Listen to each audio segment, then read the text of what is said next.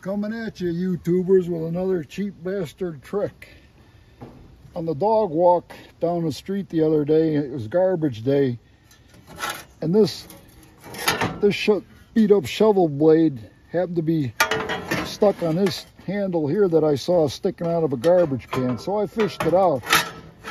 And I fished it out because I had an extra blade in the house from a shovel with a broken handle. So vice versa. If you save a good blade from one shovel and a handle from another. You got, got enough to make one good one. First thing you got to do is you got to cut the old rivet off. And that's what the angle grinder does. Then you chuck this piece in a vise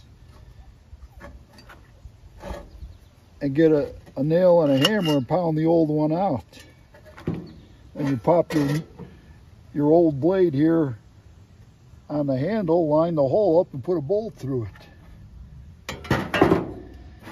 And then you use your set angle grinder to trim the excess off.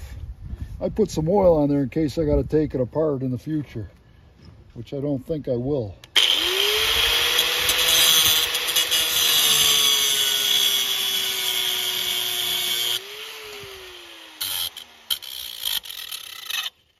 You can peen that over with a hammer on top of a vise and that'll be good to go for some more. Can you dig it?